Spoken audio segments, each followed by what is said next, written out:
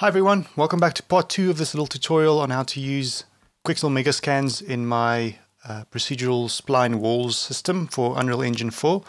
Um, in this video I'm going to show you how to use Quixel Mixer to create a new and an old version of a material so that we can use all the features that are built into the system in Unreal Engine.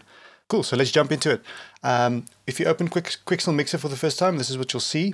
Um, it'll probably ask you to sign in uh, remember just to sign in with your Epic Games account and then you will have access to all the amazing materials and textures. Cool, so let's say new mix.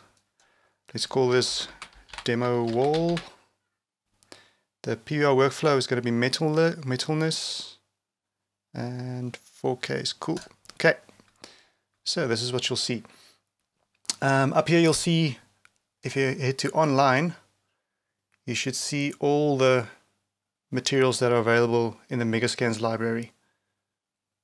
So we can start with surfaces and I'll only show you the surfaces. Uh, I've gone through these and I found a, one that I think will work nicely for this demo. Uh, it was in wall, brick, cool, this one, colored stone bricks. I think it's a nice one to use for this demo. Um, if you click on it here, you'll see there's download settings. Just make sure your material preset is on Unreal 4 or else it'll download a whole bunch of unnecessary things as well. You can close that and just, just hit download. I've done that already.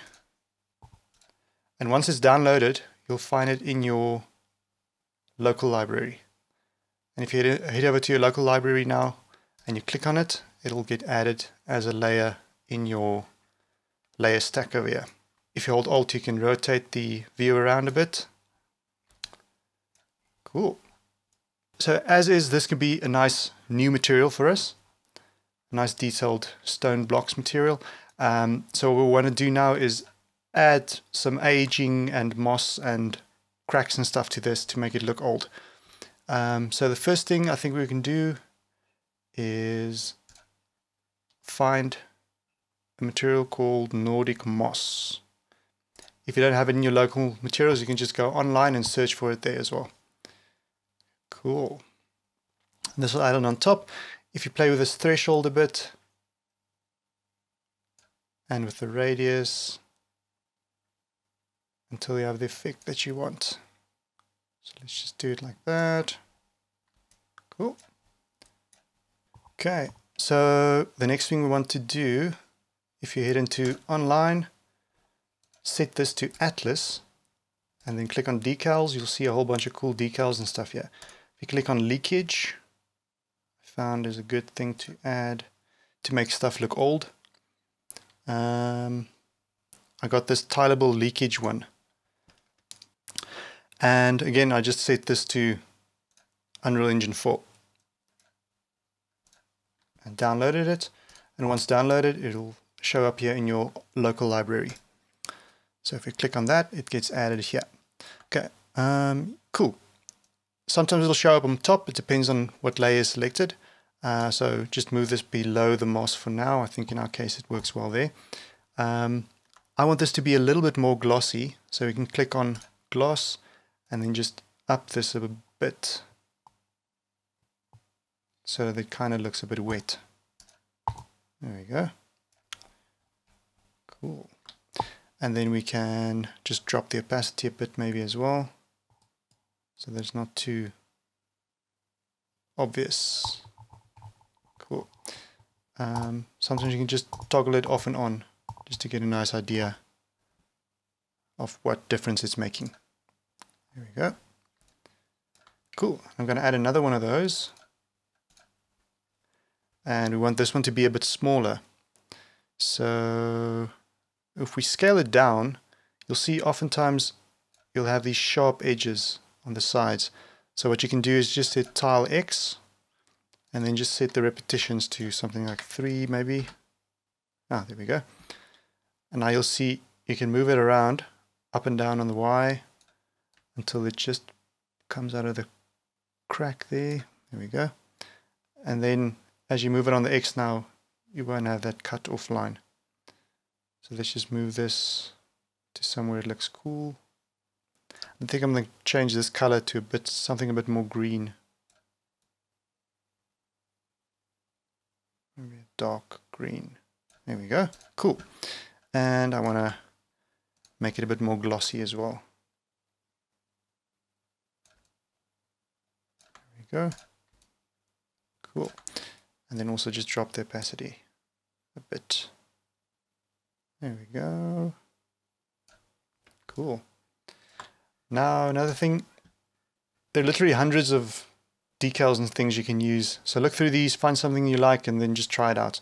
Um, I found another one here under crack that I quite liked. It's just a subtle little crack. Um, and again, I just set this to Unreal 4, downloaded it. Once downloaded, it'll show up over here. You can click on it. And let's add this below the the leakages. Cool. Just to turn this off. Where is ah, they're in the center there. Cool. So we can scale that up a bit maybe. And then with playing with the offset, you can add a whole bunch of these just to add slight variation to your textures. So we can maybe add another one down here. I'm just going to leave it like this for now. Let's put this back on, that back on. There we go. Nordic moss. Quite like that. Cool. And last thing we're going to do is add a liquid layer up here. Add liquid layer. And this is really cool if you want to add puddles to floors and things like that as well. For our purposes now, we just want to make it a bit more, a bit, give it a bit of a wet look. So we can just drag this up ever so slightly. There we go. And then if you want the moisture to spread a bit, you can just up this as well, the moist threshold. There we go. Let's turn this down slightly. Cool. It looks all old. Awesome. Cool. Now if you want to see the difference between just your base layer and the rest of them, I think you can just hold Alt and click on the little eye there. Then it'll just show you this one. So this is our new material. And then as it gets old, you can just hold Alt and click on that again. And that's our old one. Cool. So now to export it, you can go to export, obviously. Um, set your destination. We're going to call this surface name demo wall. I already named that. Um, and for this version, we're going to call it demo wall new. Or let's export the old one first. It's already set up. Alt. And we can click on open folder after export to easily find them export format, custom is fine. Cool, and under maps, this is a little bit different than uh, Quixel Bridge. There's not a, a pack uh, section that you can use, but you can uh, pack any of these textures manually. So for this one, we're just going to call the albedo base color again. Base color, just to keep it consistent with the other textures that we have. Um, normal, we want normal displacement. We're going to call height. We're not going to export the AO separately. And that's cool. Okay so for this roughness one we're going to call rough met em AO oops AO so this again that's roughness metallic emissive and ambient occlusion. If we open this up we can set it to PNG RGBA so the first one is roughness, so roughness is cool. The second one, metallic, is going to be metalness. The third one, emissive. We don't have emissive in this texture, so we're just going to set it to value and set the value to zero. And the last one, ambient occlusion. Oh yes, and before we export, just remember, let's just see. I think PNG for all of these will be fine. Stuff like albedo, you can make JPEG and so on, but I think it's safer to just leave it on PNG. Height, I think we'll just set this to PNG as well. Displacement, da da da. Cool, PNG all around. Export maps. Cool, and there it opens the textures for us. So this is our old textures now. And to make our new textures, we can just alt click on that, go to export, just rename that to new, and then everything else should be fine. Just hit export. There we go. We've got our new ones as well. So it made two little subfolders for this. Demo wall new, demo wall old. We get into Unreal Engine. And these are the textures that we made in the previous one. So we can just add these, the old ones, just drag those in. And then grab the new ones as well. Drag those in. Okay, and again, we want to go into the packed texture and just set that, disable the sRGB. And I forgot to mention in the previous video, um, you want to disable the sRGB for the height map as well. That'll give you better results. That's disabled, disabled. If you've got a lot of these, um, you can select them all and then uh, you can bulk edit them with the edit matrix or something, I think they call it. So let's say we had like 20 of these we wanted to uh, edit at the same time. We can go to Asset Actions, Bulk Edit via Property Matrix. And then we can just search for sRGB. Oh, it's actually over there. So you can just uncheck it and then it'll uncheck it for all of those. Um, so let's do that for the height map. Asset actions, bulk edit. So we can uncheck those. And then under compression settings, we can set it to grayscale. Cool, now both of them are grayscale, sRGB off, that should be good. Cool, now we can go into materials, duplicate one of these materials. Um, if you want the parallax occlusion, which is the, the depth um, that is created, like the, the offset, the depth offset of these uh, bricks so that they actually stand out. Um, you can copy or duplicate one of these parallax instances or else you can copy duplicate one of these flat instances. Um, it works well with these so I'm going to use this uh, bricks parallax instance just hit duplicate rename it to demo wall. Cool. Now we can plug our new textures into here. So I'm going to search for demo wall new. First, copy that. Base color, the height, the normal, and our packed one. And then for the old, we can just say demo wall old, select all, copy, base color, height, normal, and the packed. There we go. Okay. So now we've got this. And if we head over to age, can see it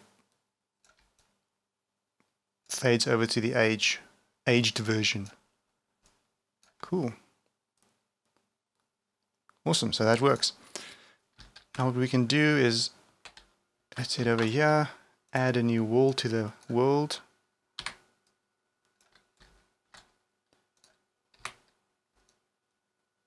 Let's do this. Add a pillar at the end as well. Cool. And now for custom wall material, we're just going to find our demo wall to add that in. I'm going to make the tiling 2 again. There we go.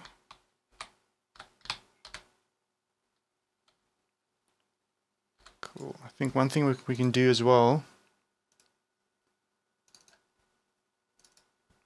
let's up the contrast of these height maps again. Uh, so let's make that 2, maybe a bit much, 1.5. There we go, so that we don't lose the detail in the highs and deepen the black levels a bit. Cool, that looks good. Okay, so let's do that for the other one as well. 1.5, 2.5.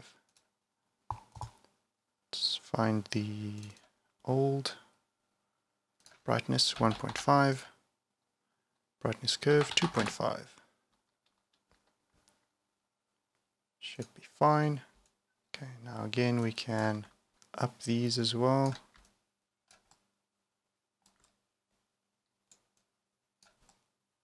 Now as you can see we've got like a nice little height variation going. Let's just make that 0.02.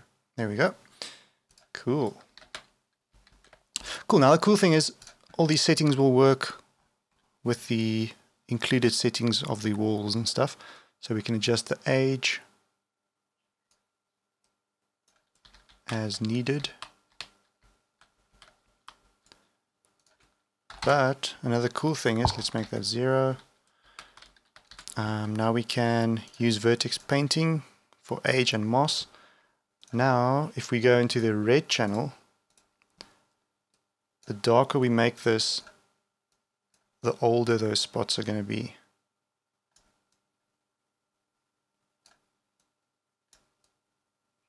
So now we can age certain parts and you can break up the repetitiveness of the different wall panels.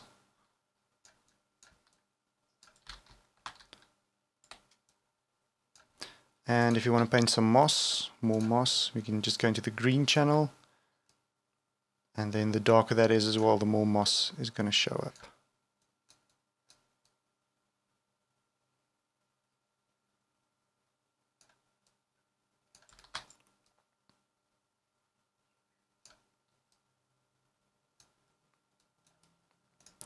Cool, and let's go into the red channel again.